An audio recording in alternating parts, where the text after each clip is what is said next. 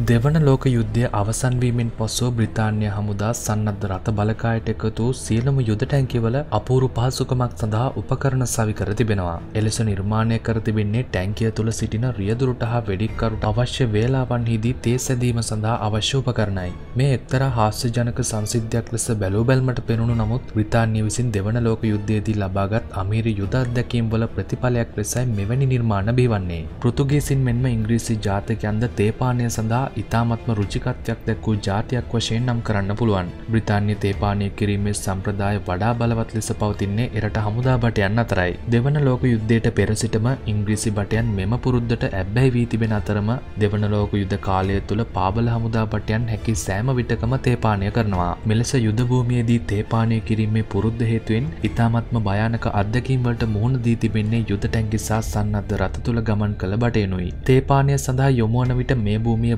බලවත්ව සිටින්නේ මිත්‍ර හමුදාවද යන්න ඔවුන් ඒ හැටි ස්වා බැලීම් නොකළ අතරම බොහෝ අවස්ථාවන් වලදී යුද භූමියේදී පවා යුද ටැංකි වලින් ඉවතට පැමිණ තේපානය කිරීම සිරිතක් වශයෙන් සිදු කරනවා. යුද ටැංකිය තුළ තේ සාදා ගැනීමට ක්‍රමයක් නොතිබුණු නිසාම මෙම රටවල රියදුරන් හා වෙඩික්කරුවන් රථයෙන් ඉවතට පැමිණ අසල ස්ථානයක තේ සකස් කිරීමේදී සතුරු ප්‍රහාරවලට ලක්වෙනවා. මේ ප්‍රහාර හේතුවෙන් බ්‍රිතාන්‍ය හමුදාවට අවස්ථා කීපයකදීම සෙබල ජීවිත මෙන්ම යුද ටැංකි හා සන්නද්ධ රථ විශාල ප්‍රමාණයක් අයිමි වෙනවා. දෙවන ලෝක යුද්ධ සමය තුළ බ්‍රිතාන්‍ය සොල්දාදුවන් විසින් යුද ටැංකි හා සන්නද්ධ රථවලට භාවිතා කරන ලද පෙට්‍රල් යොදා ගනිමින් එලිමහනේ තේ පිළියල කරන අතරම එය විනය නීති කඩකිරීමක් මෙන්ම නොයෙකුත් සතුරු ප්‍රහාරවලට අතවැනීමක් වැනි.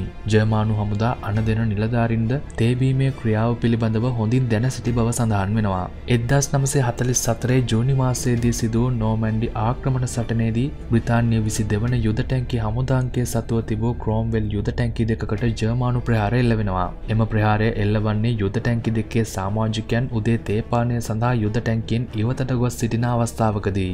දෙවන ලෝක යුද සමයේදී සුප්‍රසිද්ධ සටනක් වුණු කර්කස් අඩකවේ සටනේදී සෝවියට් යුද ටැංකි විශාල ගණනාවක් විනාශ කළ ජර්මන් යුද සෙනවියක වන මයිකල් විට්මන් වරක බ්‍රිතාන්‍ය සමග ඇති වූ සටනකදී විනාඩි පාලවක් තුළ යුද ටැංකි දාහතරකට වඩා වැඩි ප්‍රමාණයක් විනාශ කරනවා. ඊට ප්‍රධානම හේතුව වන්නේ යුද ටැංකි කාර්ය මණ්ඩල බටයන් ටැංකිය තුළ නොසිටීමයි. ඔවුන් තේපානය සඳහා ඉවතට පැමිණ සිටින්නට ඇතැයි අනුමාන කරනවා. දකුණු අප්‍රිකාවේ සිදුව සටන්වලදී මෙන්ම යුරෝපයේ සිදූ විධ සටන්වලදීද බ්‍රිතාන්‍ය යුද ටැංකිවලට මෙම ඉරණම අත්වෙනවා.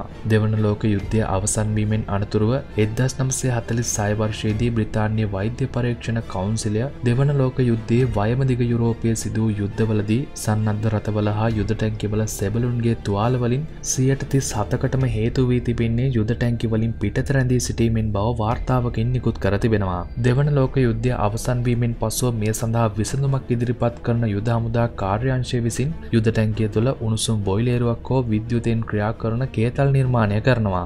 එංගලන්ත රජය විසින් දෙවන ලෝක යුද්ධෙන් උගත් පාඩම් ක්‍රියාත්මක කරමින් එදස් නමසේ හතලිස් පහවර්ෂයෙන් පසු යුද ටැංකි සඳහා සන්නද්ධ රථවල උණුසුම් බොයිලේරු සවි කිරීම සිදු කරනවා. ඒ යටතේ පළමුුවෙන්ම උණුසුම් බොයිලේරුව සවි කරන්නේ සෙන්චුරියන් යුද ටැංකිවලටයි. ටැංකිය ඇතුළත උණුසුම් බොයිලේරුවක් හෝ ටැංකිය තුළ ඇති විදුලි බලයෙන් ක්‍රියාත්මක වන ගණකා බැහැටති කේතලයක් සවි කිරීම සෙන්චුරින් යුද ටැංකිවල සිදු කර තිබුණා. මේ ආකාරයෙන් දියුණු භාවයට පත්වුණු යුද ටැංකි තුළ වර්තමානය වන විට විද්‍යුත් තාපවුඳුන් ඇතුළු තවත් ආහාර සාදා ගැනීමට අවශ්‍ය පහසුකම්ද සලසා තිබෙනවා.